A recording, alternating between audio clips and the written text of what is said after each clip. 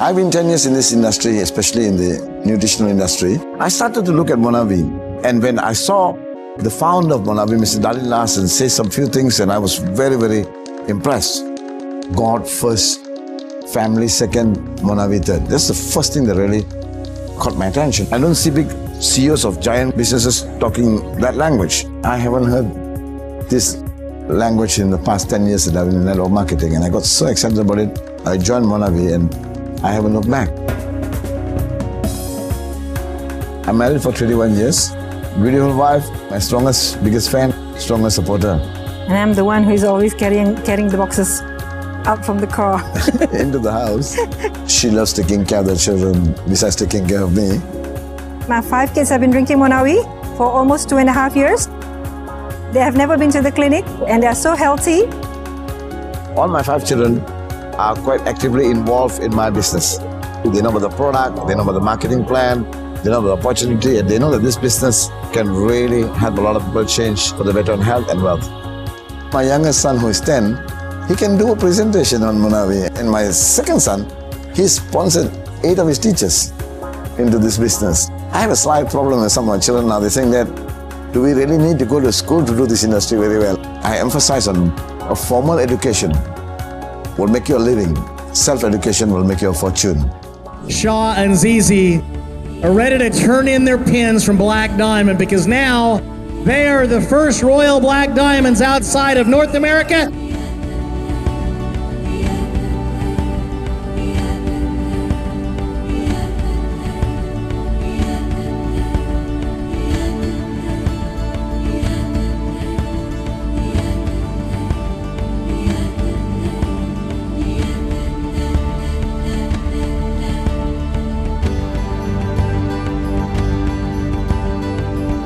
I would say MonaVie is not a supplement, it's not a medicine or cure, but it's a food.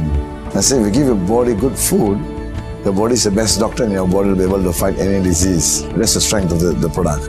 A product is not gender specific, neither is it age specific. So anybody, the whole household can take the product. I haven't seen anything come so close to this product. I always say the key to success is this the seven P's. The first P, of course, is the persistence. Anything you want to do, you must be persistent. If you're not persistent, you cannot achieve anything. The second P I stand for is you must be very patient. There's a saying by Zig Ziglar who says, build your skills and talents, your day will definitely come. The third P, you must be always very positive.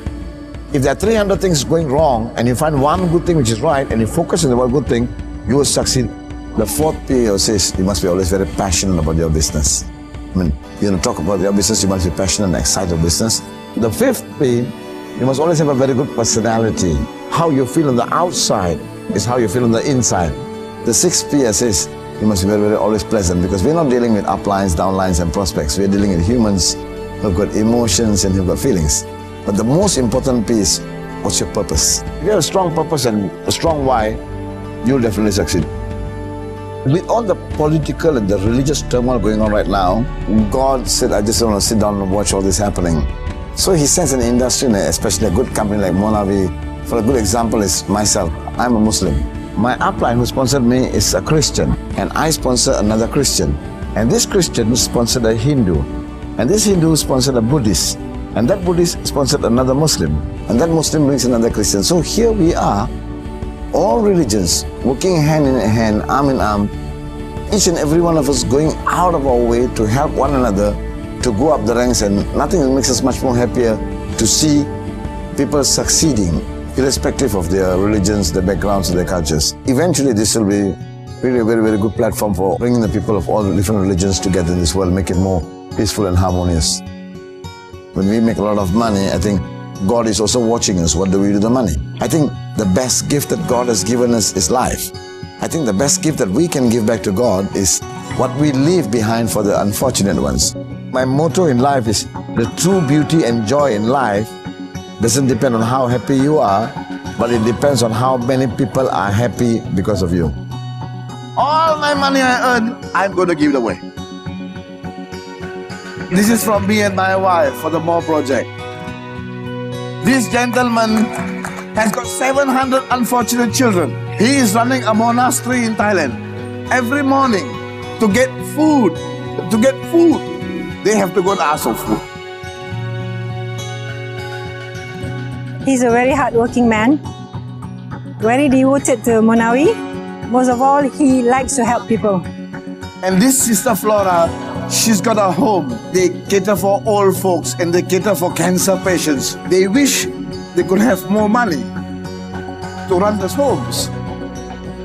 Basically, I'm an instrument for the universe, for God to work through to help a lot of people. I'm not really concerned about the lifestyles I can enjoy, but I'm more concerned about how I can be of help to some poor people. The people that I respect the most in my life are mothers who got retarded children. She knows that the retarded child got no hope, but the mother will never give up hope. With the help of this girl and her in laws, in this foundation, I'm to build two homes. Two homes where I will employ at least 80 people, fully employed, where I will pay them salaries so that the mother can go out back to the world to get back her life. I'm not looking at a car. To me, this is more important. This is more important.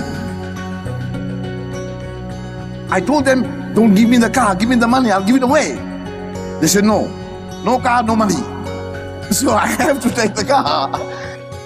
All this is becoming possible because of MonaVie. Ladies and gentlemen, this is the best time of my life and I'm given this opportunity to really go out there and serve. Thank you so much. God bless you. I pray that I have a long life, make a lot of money, and I'm going to give it all away.